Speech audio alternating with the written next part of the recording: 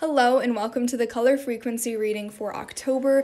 I do readings every month. I can see the auras of every month to see how that color frequency is going to influence the month and how it can help you, etc. So I channel an Elfian elemental to discuss why these colors are the way that they are. So I'm going to channel the elder of the cosmic Elfian elemental domain and the colors that I see are purple, like a very bright purple. I see a scarlet, uh, I see gold and navy blue. So that's four. So we're gonna have the elder come through and explain those four.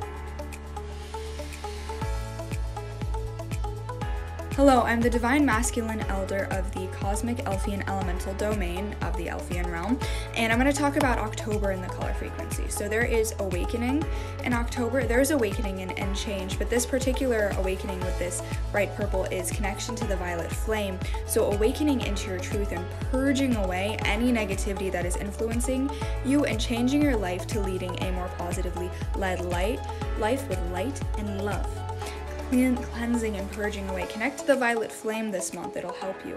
The scarlet color is actually under orange. We the orange color frequency elementals work with scarlet, and this is the in-between of the energy of being grounded in your root and creating from your sacral. So you want to stay grounded, but create the reality that you know that you deserve. You can connect to the scarlet frequency because in October you can set the foundation and set the plans into motion for uh, for more abundance to come your way in the future. You're having your abundance of the previous year come your way. It's kind of like a, a new year for abundance in October. So the abundance of the previous year from October of last year to this year is coming your way. Now you can lead, uh, leave the groundwork for the abundance of the next year coming your way.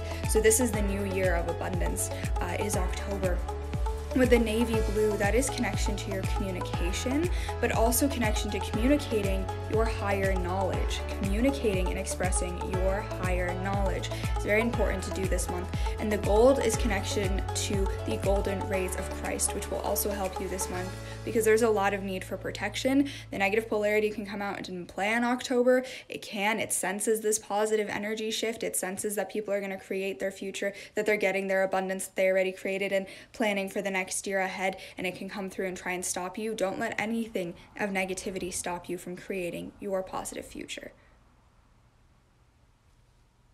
Seems like that's all he had left to say.